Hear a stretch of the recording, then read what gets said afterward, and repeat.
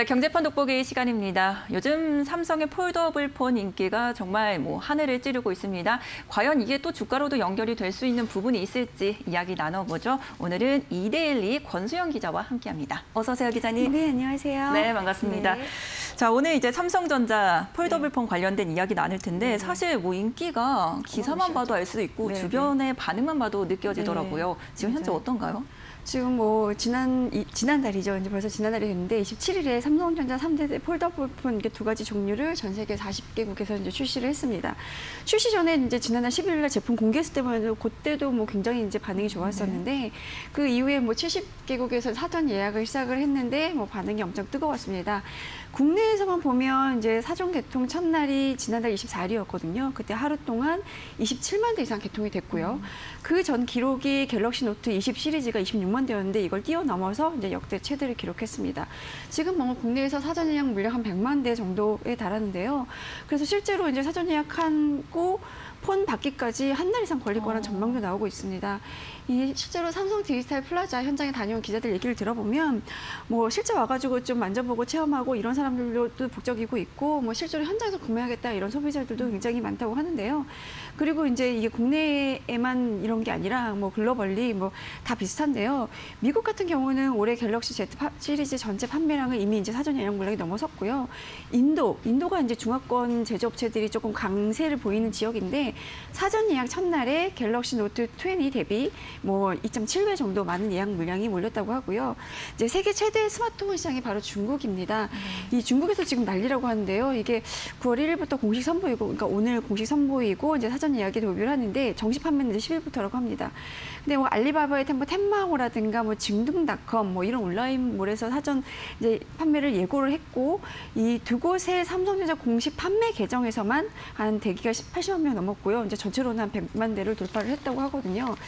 사실 이제 삼성전자는 중국 시장에서 2013년만 해도 점유율 스마트폰 시장 점유율 한 20% 정도에 달했는데 뭐 그 뒤로 뭐 화웨이라든가 뭐 샤오미 뭐 오포 비보 이런 중국 기업들이 급성장하면서 이제 삼성전자 점유율이 10위권 밖으로 밀려났었거든요. 어, 그래서 이제 올해 상반기 점유율 기준으로는 한 0.5% 정도 수준밖에 안 됐었어요.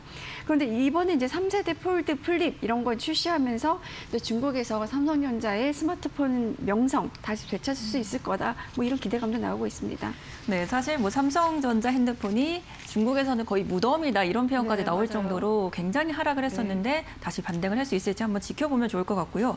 제 주변에서 제 또래 여성분들은 폴더를 좀 더 좋아하시더라고요. 이게 또 네, 연령층별로 네. 다 다르다고 하는데 네. 어떤가요? 일단 사실은 이제 10대, 30대까지는 기존에는 아이폰 선호도가 좀 높았다고 해요. 그래서 소위 이런 우리가 이제 애플빠라고 불리잖아요. 네. 이런 애플빠들도 지금 뭐 플립으로 좀 돌아서고 있다라는 얘기가 나오고 있는데요. 지금 통신사 중에 이제 KT의 자료를 보면 Z 플립 3 사전 예약자 중에 이제 30대가 31% 그리고 20대가 22% 그러니까 20, 30대가 절반 이상을 차지하고 있는 상황이고요. 이게 이제 이유를 보면 기본 디자인도 이쁘지만 이게 폰 꾸미기 어. 이런 이제 특징이 있어서 외부 디스플레이나 외관은 본인의 취향대로 이제 꾸밀 수 있다는 게 굉장히 이제 매력으로 다가오고 있는 건데 이게 플립을 닫- 닫았을 때 이제 외부에서 볼 수 있는 조그마한 이제 디스플레이 네. 창이 있잖아요. 여기에 뭐 본인이 만든 GIF 이런 이제 간단한 이미지 뭐 약간 이제 짧은 영상들을 넣어서 예를 들어 영화의 한 장면이라든가 아니면 본인이 편집한 이런 영상들을 뭐 그 외관 디자인 그 디스플레이에 넣어서 이건 나만의 플립이라는 이제 이런 인식을 좀 줄 수 있게 네. 이런 강점이 좀 있다고 하고요. 또 삼성전자가 이제 사전 예약 후에 개통한 고객한테 이제 여러 가지 사은품을 제공하는데 그 중에 하나는 이제 갤럭시 버즈 2 이런 게 가능한데 사실 기존의 애플빠들이 어, 아이폰과 뭐 워치나 이런 이런 이제 그 에어팟 같은 걸 연동해서 쓰는 거에 이제 매력을 좀 느끼고 그래서 애플 제품만 썼었는데 이게 삼성 갤럭시 폰을 사면서 갤럭시 버즈 2도 얻을 수 있고 또 지금 코- 통신사에서는 갤럭시 워치 4 프로모션도 제공을 하고 있거든요. 그러니까 이렇게 기기를 연동해서 쓸 수 있는 세트를 장만할 수 있는 기회 이런 것도 굉장히 좀 매력으로 다가오고 있는 것 같은데 그래서 이거는 이제 젊은 이제 여성분들뿐만 아니라 연령대가 있는 남성 고객들도 기존에 요, 요런 분들은 이제 노트를 많이 썼거든요. 네. 근데 노트 시리즈를 좀 교체하려는 수요들이 좀 있다고 합니다. 네, 사실 제가 지금 노트를 쓰고 있는데 아, 딱 그런가요? 그 시기예요. 아, 아, 이걸 교체를 해야 바꿔야 되나? 네. 그래서 좀 공감이 가는 네. 부분이 있는 것 같습니다. 자, 근데 이게 정말 요즘 기사 보면은 뭐 폴더블 폰 없어서 못 판다 네. 이런 이야기들이 네. 많이 나오고 있거든요. 맞아요. 그래서 그런지 이제 증산에 대한 이야기, 뭐 네. 생산 시설을 늘리겠다 이런 이야기 많이 나오는 것 같아요. 그렇죠. 실제로 그런가요? 지금 실제로 물량 제대로 될 수 있겠냐라는 음. 얘기가 좀 나오고 있습니다. 갤럭시 Z 플립 3를 지금 현재 이제 한국의 구미 공장하고 베트남에서 생산을 하고 있는데 뭐 최근 된 삼성 디지털 플라자 이런 데 공- 공문을 보내서 사전 판매 예상보다 많으니까 긴급하게 베트남에서 이제 제품을 추가로 생산해 공급하고 있다라는 이제 내용의 공문을 좀 보내기도 했다고 해서 그래서 이제 증설 얘기가 좀 나오고 있는 건데요. 그 내부적으로 좀 검토 중인 것으로 이제 전해지기는 했습니다.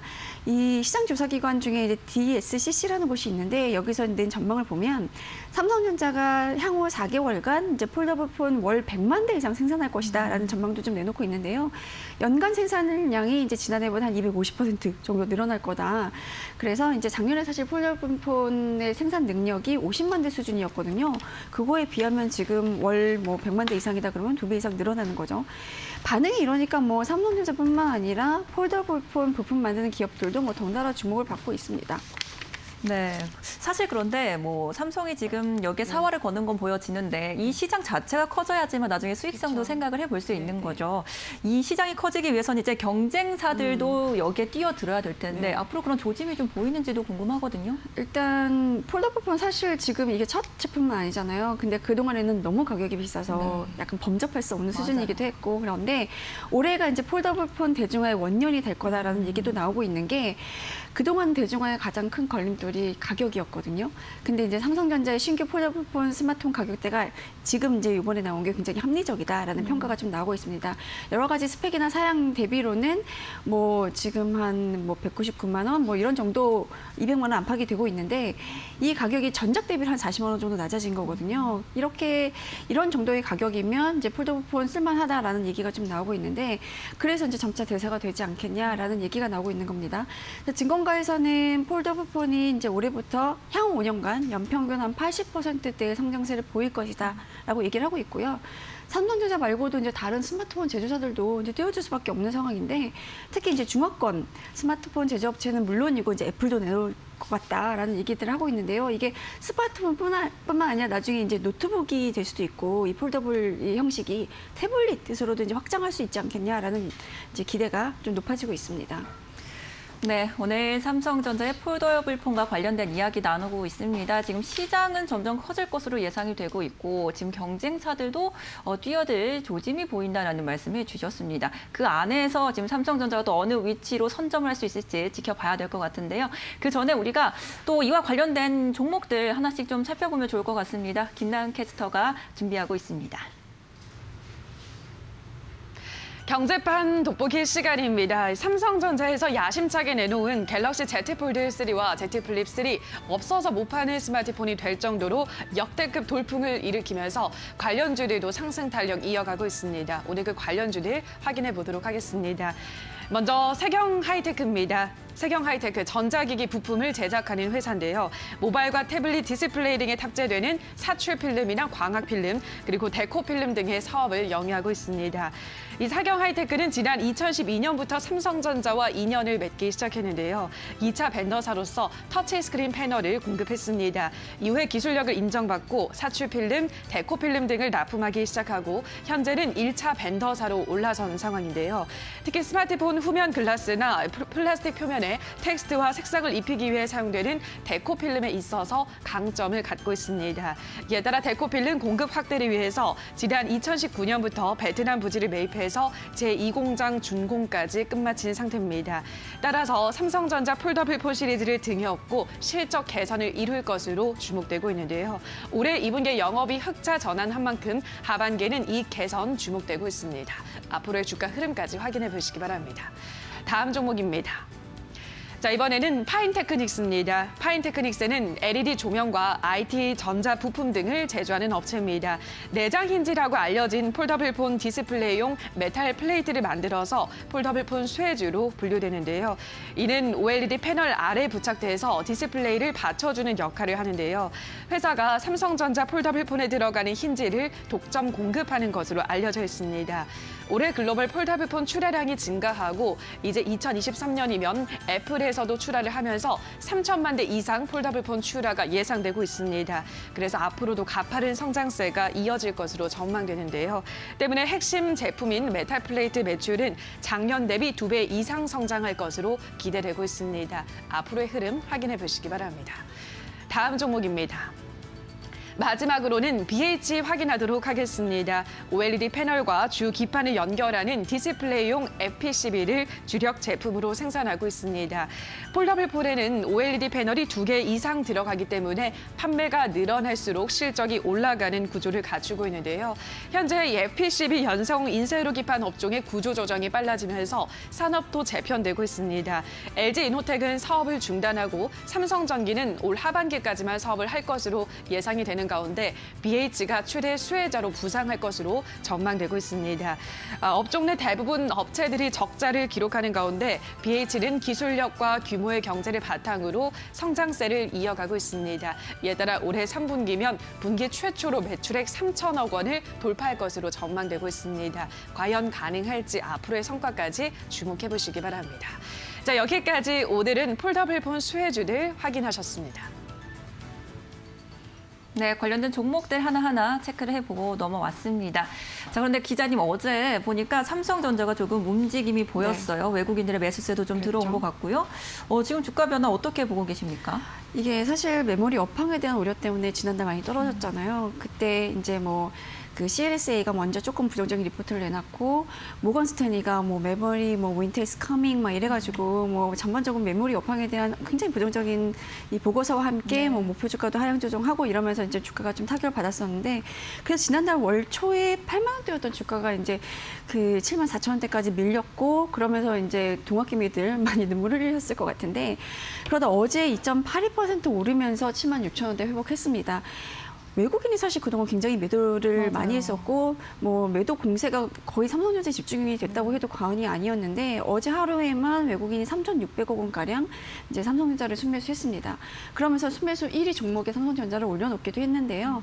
지금 사실 이제 반도체 업황에 대한 우려는 그 우려 자체는 정점을 찍고 약간 가라앉는 분위기긴 하거든요. 그리고 이제 삼성전자 주가도 떨어질 만큼 떨어졌으니 이제는 좀 저가 매수해야 되는 시점이다라는 분석 좀 나오고 있는데 뭐 물론 시장에서는 여전히 이제 반도체 메모리 업황에 대해서는 조금 의견이 엇갈리고 있습니다. 사실 그때 CLS라든가 골, 음, 모건 스탠리가 이런 전망을 내놨을 때도 뭐 골드만삭스 이런 데서는 괜찮다, 뭐 나쁘지 않다 이런 이제 반대 의견을 좀 내놓기도 했었거든요.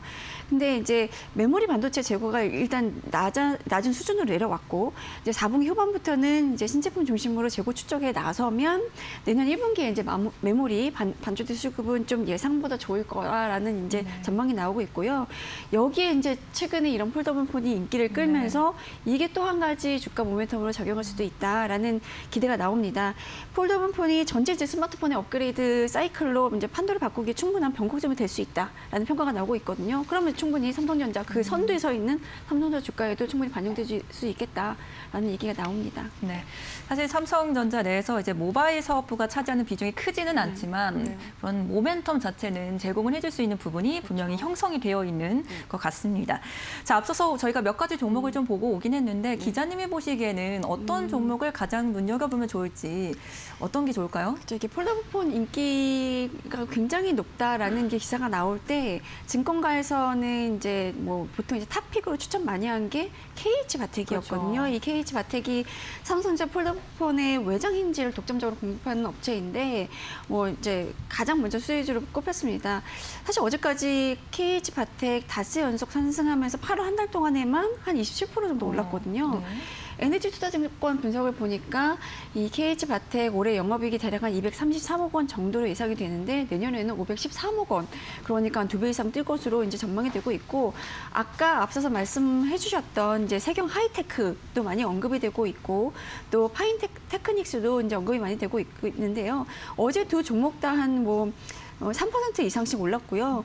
뭐 파인테크닉스 같은 경우는 26일부터 나흘 연속 강세 보이면서 이제 연일 이제 신고가 행진을 네. 이어가고 있고 세경 하이테크도 8월 한 달간 11% 넘게 올랐는데 이런 이제 부품주들은 폴더, 폴더블 시장 폰 자체가 커질수록 이제 수혜를 얻는 있는 업- 이제 종목이라서 주목해서 좀 보실 필요가 있을 것 같습니다.